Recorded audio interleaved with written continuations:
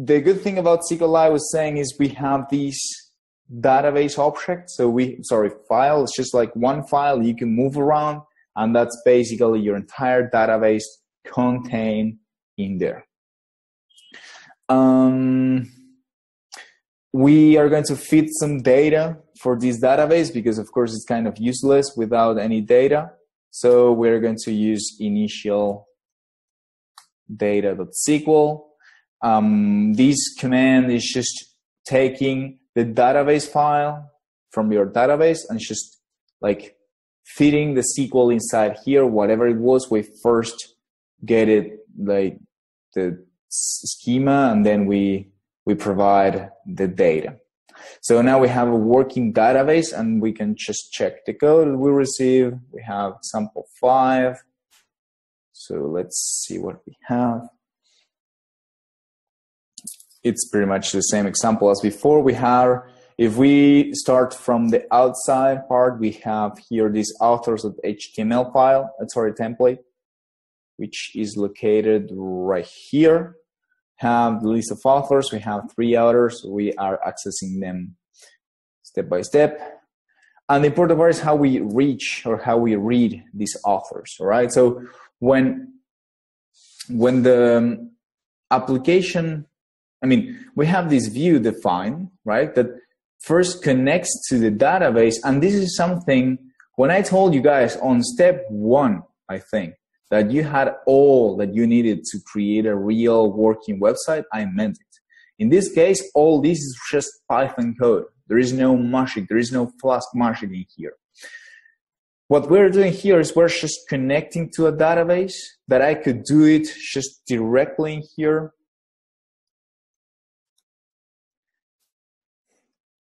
Oh, work on Flask.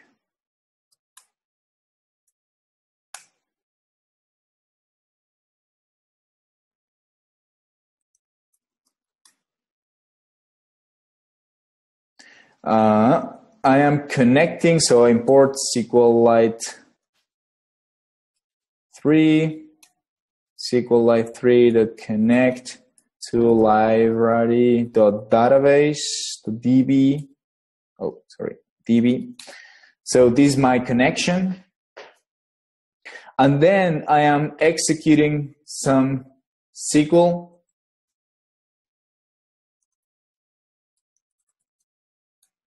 right? The same thing. So what I meant by this is that this is not Flask magic. It's something that I can do. It's just Python by itself. You know, I can just instantiate SQLite right here. And then we are creating this authors dictionary, right? This is a, maybe a complicated uh, line because this this related to how SQLite works and most databases how they all work with this notion of a cursor. So we execute these query and the, the, the results are not available instantly. We have to retrieve them one by one because this is something related, this is similar to how generators or iterators work. When you have, you know, for performance issues, of course, if you have a, a huge list of something and you can use a generator, right? Like to generate each element at a time instead of creating a huge list. This is the same example. So this cursor right here, I have just executed this, this query, but what I get is the cursor. So the, the, what I have to do is do the fetch one or fetch all methods. There are different methods in, in the cursor. And what I get is this notion of uh, this tuple, right? In the first position, position zero, I got the ID of the author, one in this case, and I create a dictionary with ID and name in this case. So what I'm going to do is show you guys what this line means right here and create a new cursor.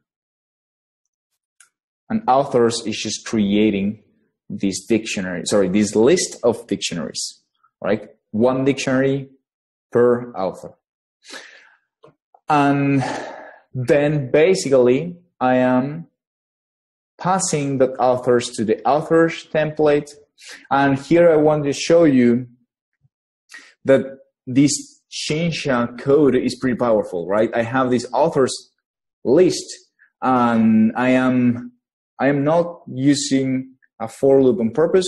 I can just access the end element here. So in this case, I have end element here. I have the element, the authors, the author, sorry, in the first position, position zero, and getting the ID later, right? So I am accessing a list, and then I'm accessing a key. This ID thing is the key from the dictionary, right? So again, pretty powerful engine.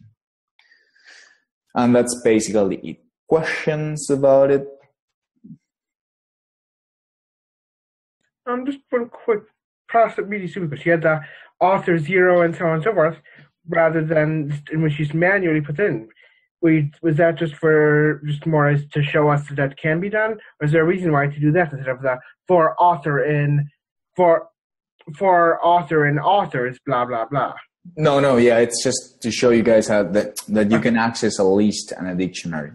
Um, the next and the next example actually does the the for loop. But but this is pretty cool, right? Like accessing a list, accessing a dictionary, it's something interesting. I don't know if the dot ID thing works. Let me break it. I don't remember. I think that Django has that note notation. Yeah, it does. So maybe it looks it looks better to the dot ID instead of accessing with ID. Anyway, moving forward, what happens? So what you guys will start seeing in your own code is that you will end up doing a lot of things for the same things for every request or for every different view, right? So if we have a second, let's call this authors, list authors, we have a second view that is something like list books, right? And we do ID title from book, right? We have something like this.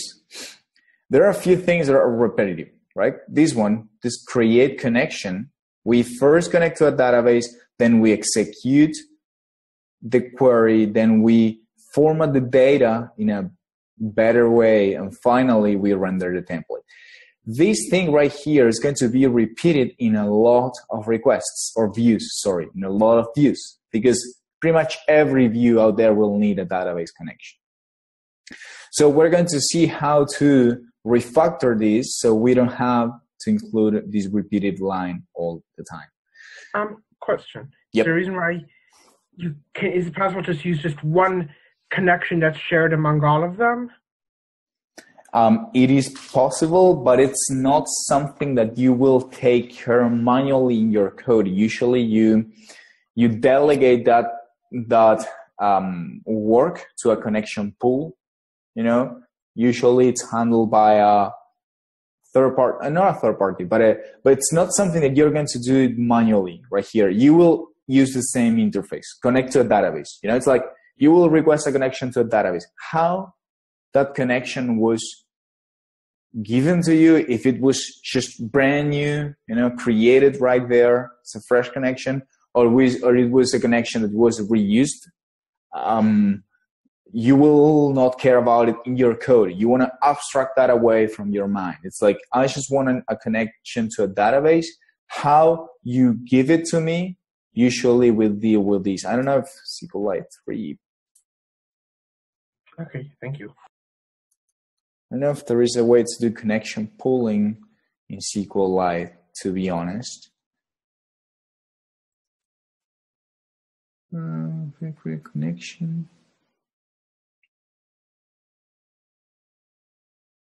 factory cached statements, this factory thing.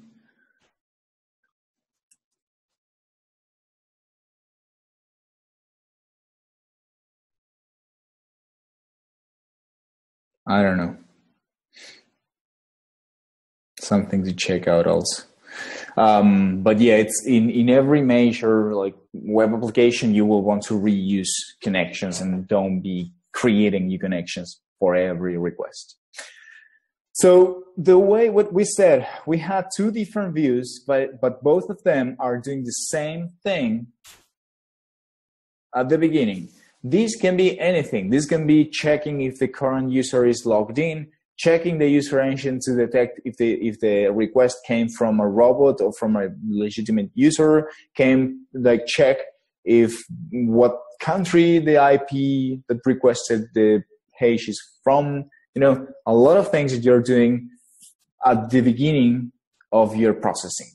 So we have a nice addition which is called the before request hook right? So you just say in your app, before request, and whatever you put right here will be executed before every request made for your views.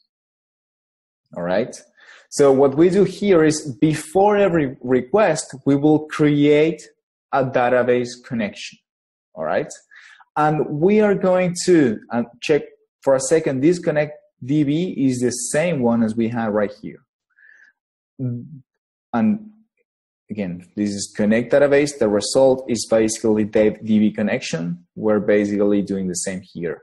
And let me change the name. Maybe it's better to do this. There you go. So the code looks like. So what we're doing is we're creating this database connection and we are storing it in a this g thing right here. This g thing is a poorly object or poorly named object by Flask that lets you share code between different functions. And I don't want to get into much detail about it. I don't want to bore you. If you want to talk about it, it's fine. Um, but basically, all, all these are different functions. We could have done something like before request and have something like DB connection on. And before the request, we set the connection, right? And then the, oh, sorry, then the actual view would use this connection. The truth is that we cannot create global objects and access them because there are, there are servers that will use threads to manage application instead of separate processes. All right. And this is maybe a more advanced topic. It deals with concurrency. But if you guys have threaded environments, you know, different threads as, as concurrency mechanism, you will have race conditions. All right, it's a complicated, to- not a, not a complicated topic, but a more advanced topic. It deals with concurrency. Um, the issues that you have different threads working together, they will all step into these like DB connection and rewriting it, and you will have unexpected results. So the the important part here is that if we have a before request hook, or we sorry, we need before request hook we created and we want to share something between the hook and the the the, the view that will be executed after that hook. We need to use the g object. Terrible name just a g but that's the global object by flask. All right? If you guys have to do something that doesn't like you don't need to share the code or something between these two functions. You just for example need to check if it's a robot or something and just fail it, you can do it right there. But if you need to share between these two views, you will need to um, use the g object. Santiago. Yep. We can we can add anything we want there. Yes, pretty much. Yep. And what, what is the life the lifetime of that object? Just just for the request whenever this request finishes, the the g object will die and it will be cleared out. Uh, it will it, it just for one request. Also, I mean, you have two clients, right, executing right pretty much at the same time. Uh, they will see different things. I mean, the g object will not be shared among those among those those two requests. It will just belong to one request. Make sense? Yes, it does. cool. All right, questions about this? Great. So finally, we have here a simple example to show you guys a conditional right here because we just saw for loops. It's just a conditional like you do in Python. I believe there is also an elif statement. We should double check. But the code right here is pretty much the same one as the previous one, but it's just using a conditional. And basically here we are doing, so if we want to include, let me go back to the previous example right here. We have ID, name, country, ID from author. I'm going to create also here. Country equals row two. And database app is using authors with template engine. Which one I'm using? Authors, authors with template engine. And I want to add here the country that this author belongs to. So I'm going to do all add country.